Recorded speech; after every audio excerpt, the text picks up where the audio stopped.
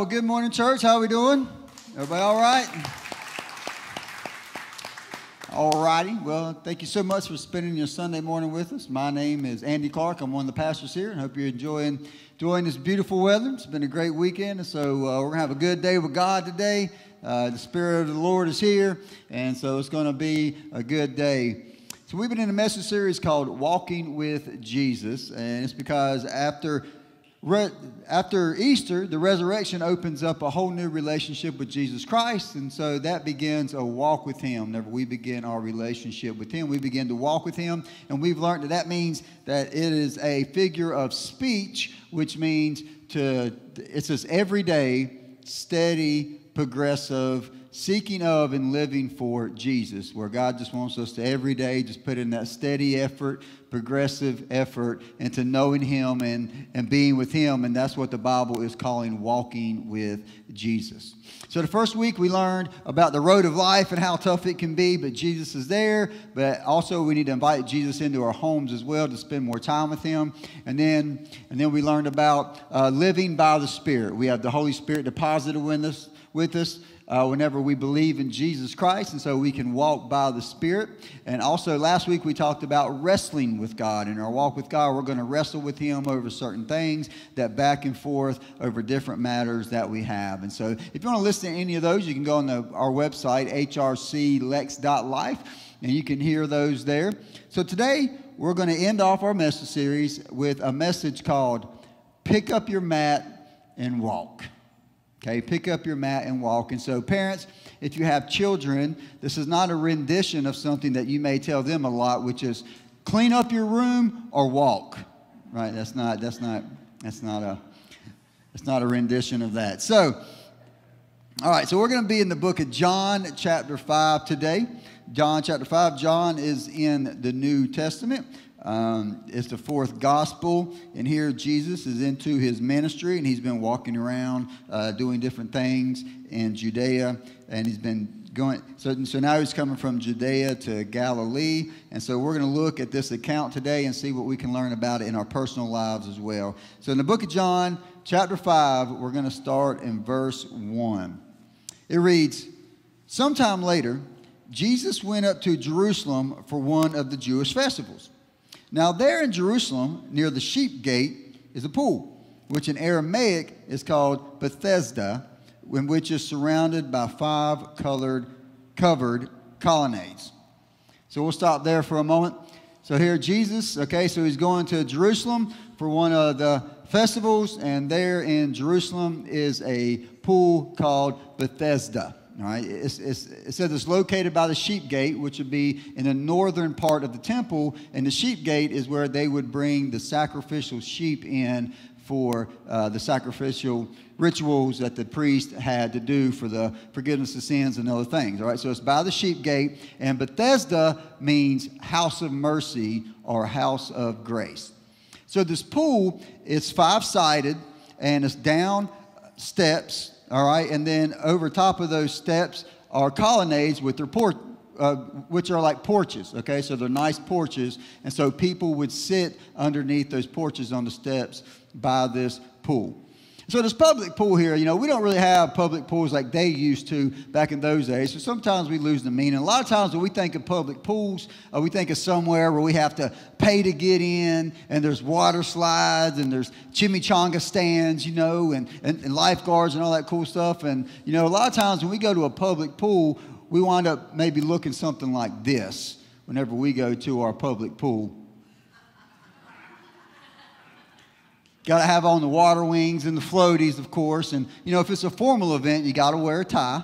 So, so, so there we go. So, see, a lot of times we think of public pools, but this isn't what it's talking about, okay? It's, it's simply a public pool. And this pool was used for healing and for purification rituals for the temple. Okay, so here we have this public pool called Bethesda, and it's a special pool, and people know it. So we're going to keep we're going to keep uh, reading the scripture here and reading a little bit more about this pool of Bethesda. So it says in verse 3, says, Here a great number of disabled people used to lie the blind, the lame, the paralyzed. Now, your Bible may not have verse 4 in it. Uh, they have recently started taking this verse out because it was actually added at a later date. It was not in the original text, but I decided to include it today because I think it just gives good clarification and it adds to the meaning of the account. So, verse 4 says, And they waited for the moving of the waters. From time to time, an angel of the Lord would come down and stir up the waters. The first one into the pool after each disturbance would be cured of whatever disease they had. So, this pool here was used for healing and it was used for ritual, for purification of ritual rites. Okay, and so this pool would bubble from time to time, and, and so people who, would, who were blind and, and lame and paralyzed and pe- people with diseases, they would lay around near the pool. Whenever it bubbled in, bubbled up, they thought that an angel of the Lord was stirring up the water. So they said the first person in the pool would be the would be the most person likely to be able to receive that miracle of healing. All right, so that's where uh, the pool is. So we have all these people laying around. And so now we're going to look at a testimony of a guy who was there at the pool as we continue in verse 5. Says, uh, One who was there had been an invalid for 38 years.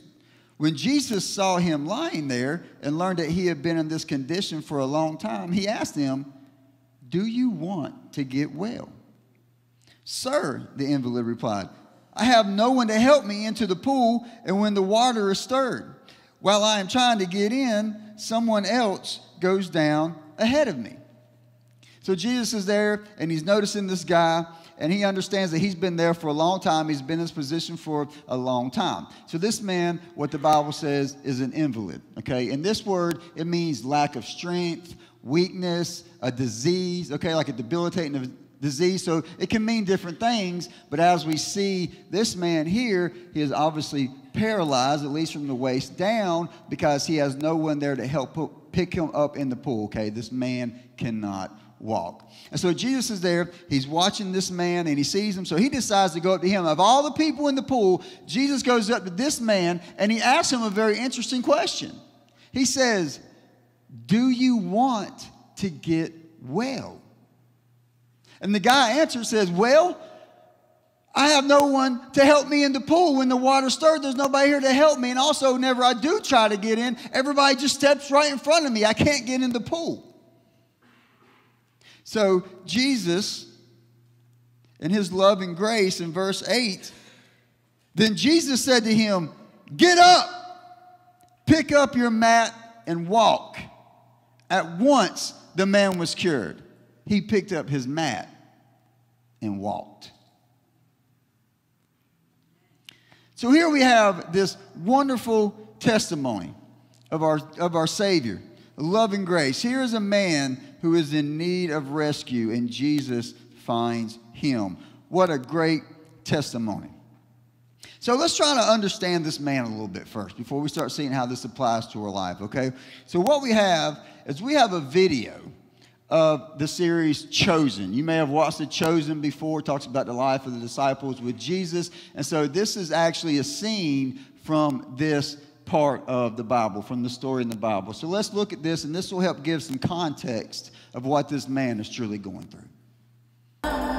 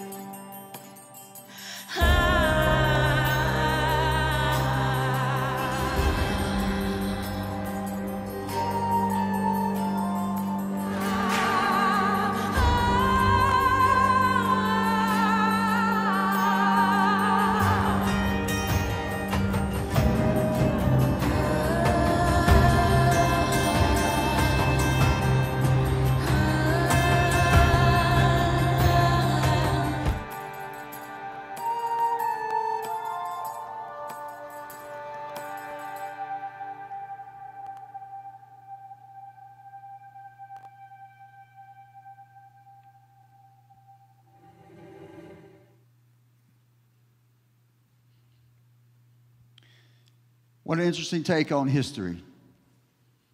So when the water bubbles, all these people have their hope in this pool and they run and they crawl and they backbite and they fight to get in this pool. And here is this man who has been here for years and years and years and he is struggling and now he is in a very, very bad and hopeless position.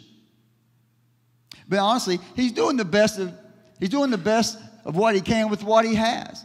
You know, because for one thing, he's not in modern America. You know, it's not like he can just go somewhere and they'll help him out. It's not like he can just go and get like an electric wheelchair or something. You know, you know, back in those ancient days, if you didn't have anyone to help you out, you didn't have any way around at all. And so apparently, this man doesn't have anyone to help him for some reason. And to make it even worse, now he has put all of his hope in this worldly water. He sits and he waits for this bubble to happen. And he puts all of his hope. And when he tries to get in, he is stopped from getting in.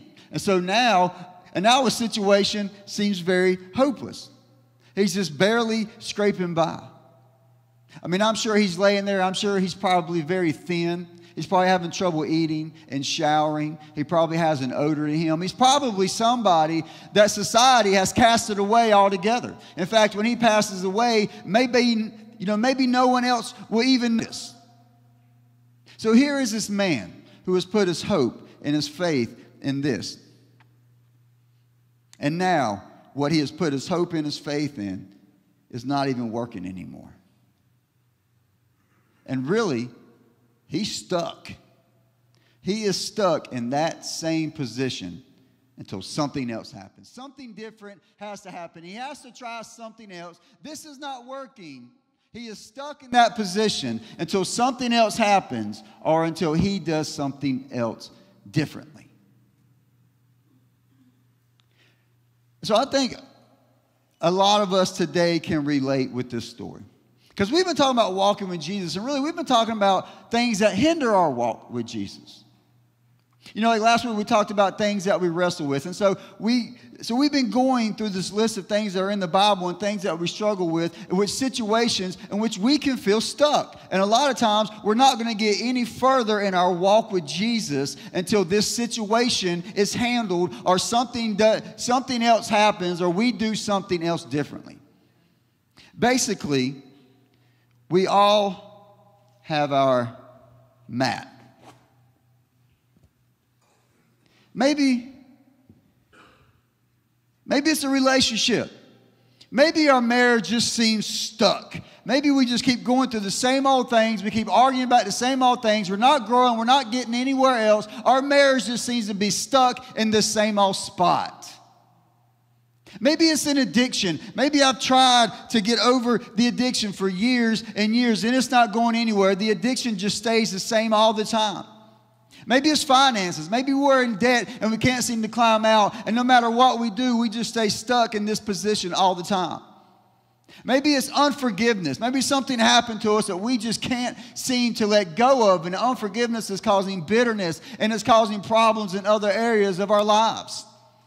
Maybe it's something in our Christian character we just can't seem to change, whether it's gossip or maybe it's cleaning our mouth up. Maybe we try, try, and try not to talk negative or cuss or whatever it is, but we just can't seem, we just seem stuck in that place.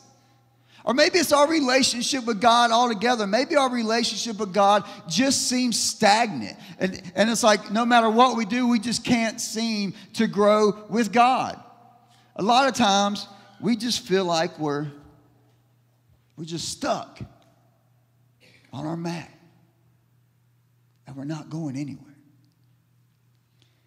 So we sit on our mats and we look and we wait for a bubble. We wait for something in the world to try to change, something to give us hope, something that's going to work. And just like that man, I mean, he crawled with everything that he had to get there. And so many times, don't we do the same thing? Don't we try to find a solution, something else, man, and we'll crawl. Oh, if I can just convince my spouse that everything's his or her fault, oh, if I can just convince them, you know, of this, if I can just get to that bank, oh, come on, bank, you, you've got to give me that money. You're my only hope to get me out of this situation. Oh, I'm just going to pretend like that thing never happened to me, and I'm just going to shove it deep down inside and just pretend like it never happened. Oh, that, that addiction. I, am going to beat it this time. I'm, I'm going to stop. I'm not going to drink today. I'm not going to look at that stuff on the internet. Today's going to be the day. I'm just, I'm just going to try. I'm going to wake up today. I, I'm really going to read my Bible today. I'm really going to pray. I'm really going to seek God. I'm really going to do these things. But it just seems like somehow, some way, we just always seem to find ourselves back on the mat. We're just back in the same position. Nothing's changed.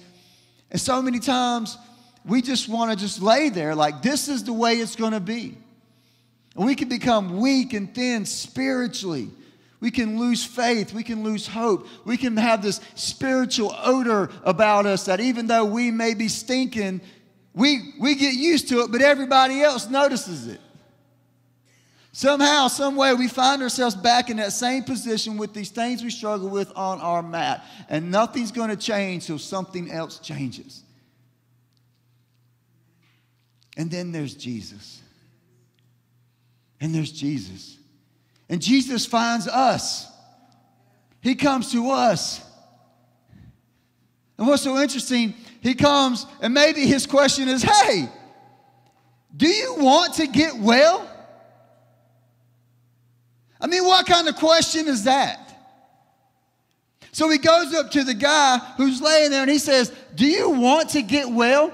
And his answer is, Well, I don't have anybody to help me. I don't have anybody to help me in the water. And whenever I try, somebody else gets in my way. They cut me off, they shut me down. Well, here's the thing that's not what Jesus asked. He didn't say, Hey, why don't you tell me what worldly thing you're putting all your hope and your faith to? You know, that keeps letting you down. Why don't you tell me what that is? He didn't say, hey, tell me what person in your life you're blaming your situation on and why you keep staying in the same place. Please tell me in this world who's not helping you. He didn't say, hey, who keeps getting in your way every time you try to change? Somebody shuts you down, tells you, turns you away, does something to you. Please tell me the people in your life, and they're the reason why you're still there. That's not what Jesus asked. What he said was, Do you want to get well?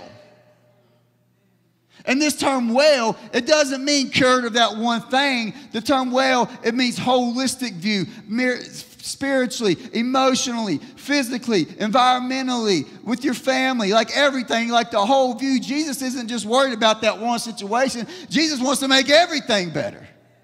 So he says, Do you want to get well? And boy, I, can imagine what he was thinking. No, Jesus, I don't.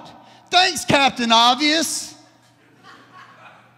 No, I just want to keep laying here on my mat stuck here for the rest of my life, putting hope in things that won't hurt, stuck here by myself, stinking, barely eating. I, you know, I just want to sit here, and every time I put my hope in that thing and it doesn't work, I just die a little bit more on the inside, and I just stare at the sky like, why is this my life? No, Jesus, no. I don't want this to change.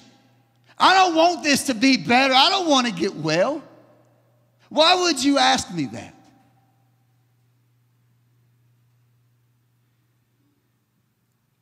You know, it's so interesting that Jesus asks us the same thing Do you want to get well?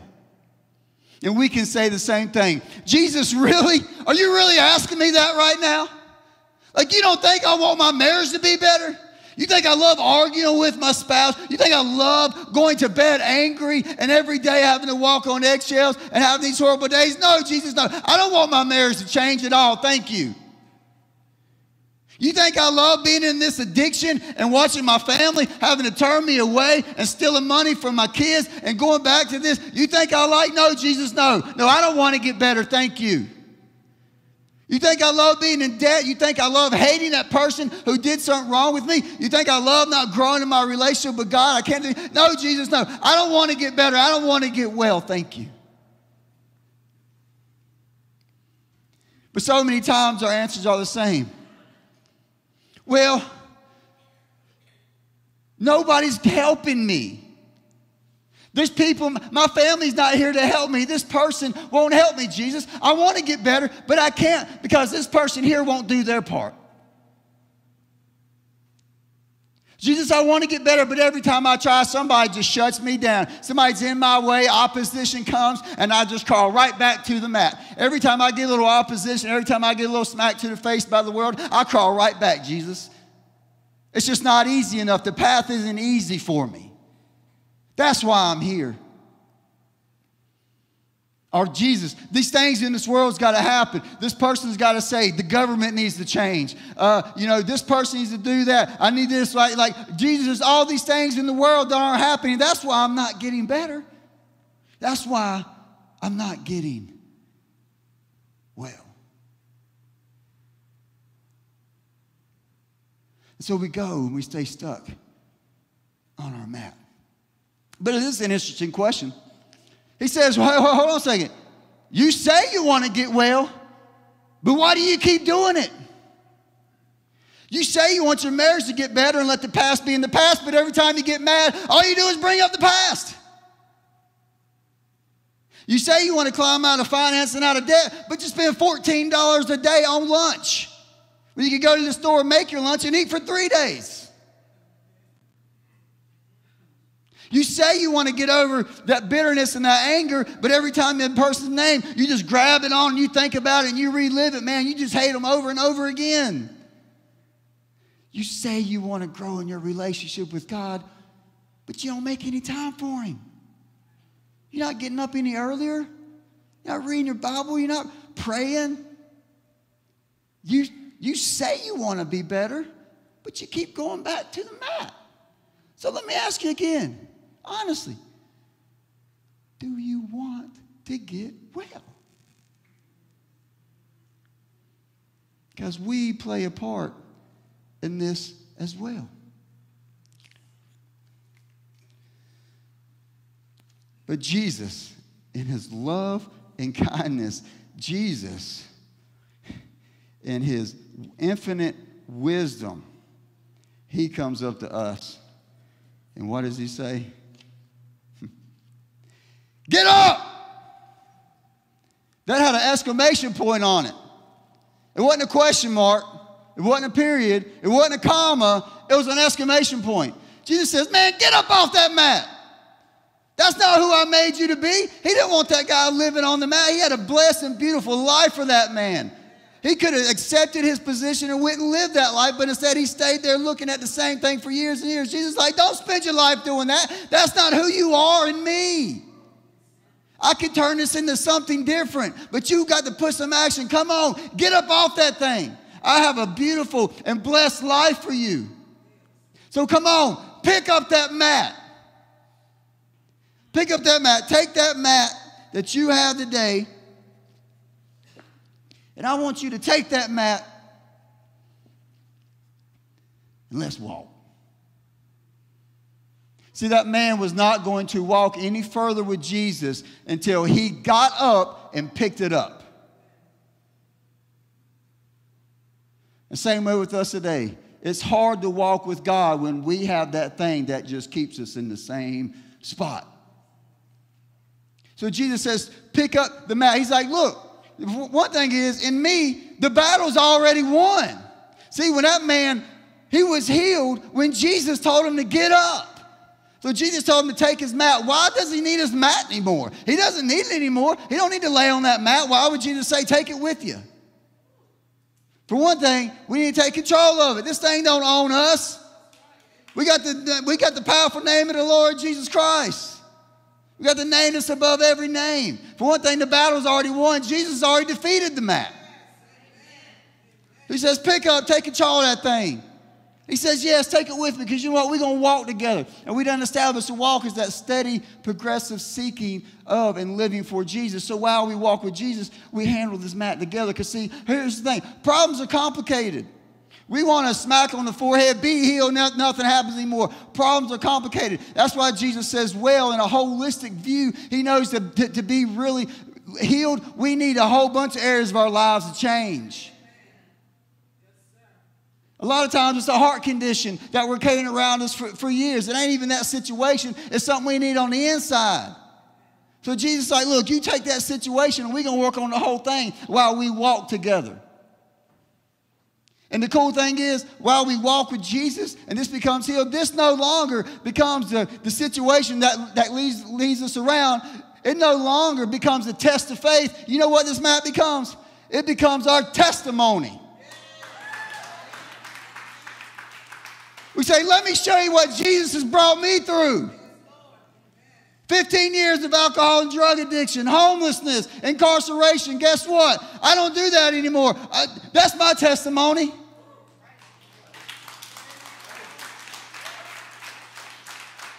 We can say, I've been through marriage problems, but guess what? With the Lord Jesus Christ, it'll never be a perfect relationship, but man, it can get a whole lot better. Jesus has brought us through our marriage problems. Jesus brought me through my financial problems. He's brought me through addiction. He's brought me through all these things. So, one thing this mat becomes, it becomes our testimony. Also, it becomes a reminder of where we don't want to return to. When the devil comes and say, hey, try that again, we can say, I know what that brings. I'm not going there again. You ain't letting me down on that mat again. I'm, I'm carrying the mat now through, through the authority of Jesus Christ. It's my mat.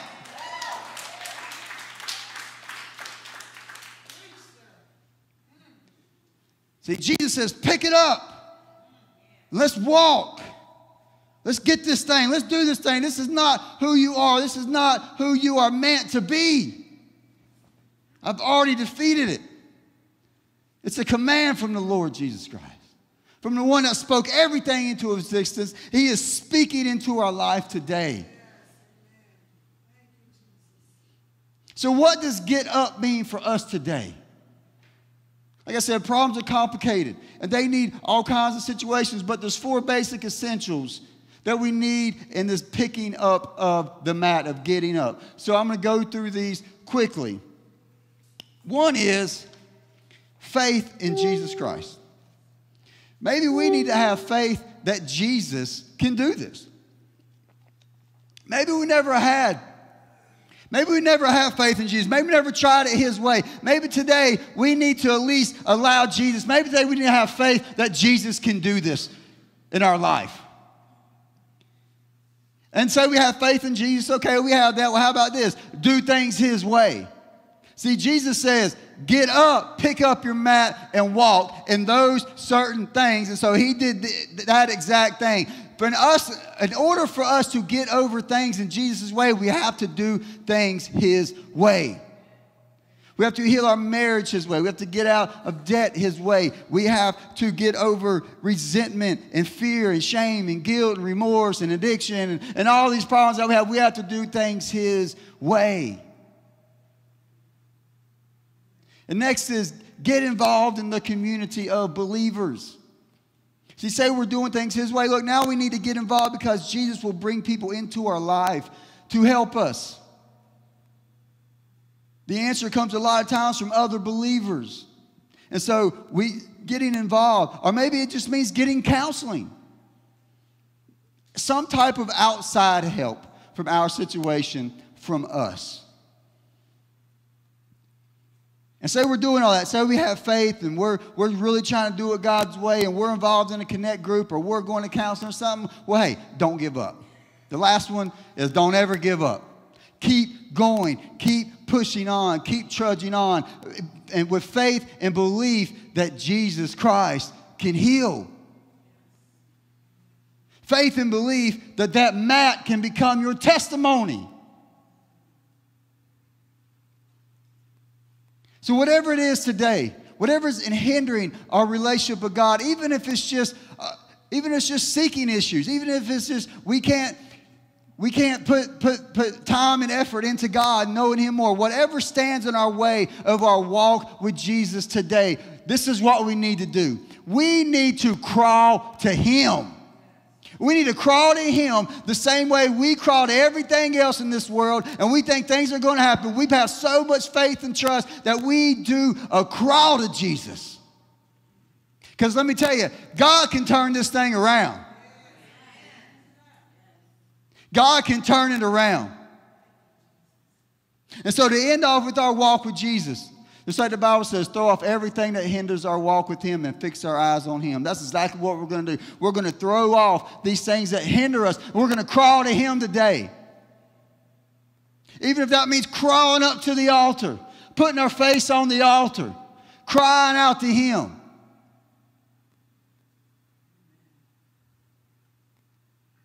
If it means hitting our knees on the floor.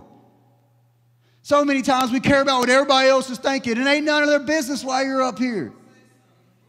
If you're worried about why everybody else is up here, you need to be up here too. Don't worry about this sawdust. Get the plank out of your own eye. That's what I'm saying. When it comes to God, don't worry about anyone, anywhere, anytime. Whenever we, God is number one all the time. And it doesn't matter why we're, it, it, it could be our children. It could be praying for somebody else. The point is, crawl to God today. Crawl to the living water. Because let me tell you, we are in Bethesda. We are in the house of mercy. We are in the house of grace. But we don't have, we don't have some worldly water. We got the living water. See, that thing was located near the sheep gate where they would bring the sacrificial lamb into the temple. Hey, look, the sacrificial lamb's already been. We're covered by the blood of Jesus.